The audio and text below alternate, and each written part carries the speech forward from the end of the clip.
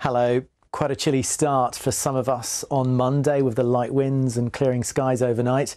Very different to how the weather is going to be overall in the week ahead. In fact, we're expecting strong winds and spells of heavy rain. And a starry, starry night sky. Morning, Carol.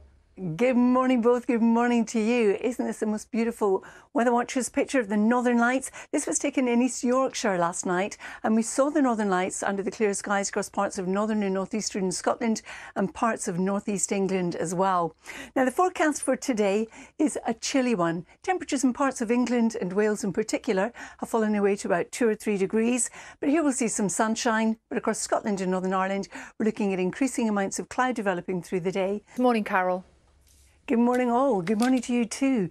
Some cracking pictures came in last night of the Northern Lights from our weather watchers. I showed you one earlier from Northeast England. This one's from Scotland in Carnoustie. Such beautiful, vibrant colours. Look at that beautiful picture. Is that from overnight?